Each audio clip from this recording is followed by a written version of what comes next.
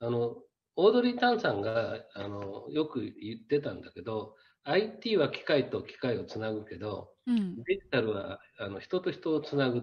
私、これは名言だと思うんですよね。うん。で、あの、最近ね、その高齢者の皆さんの、その、この、まあ、チャットグループみたいなところにも顔を出したりいろいろしてるんだけど、はい。皆さん、あの、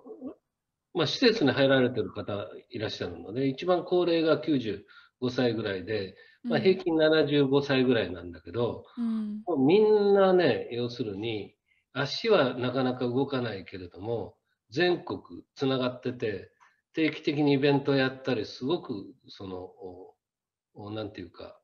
あの、元気なんですね。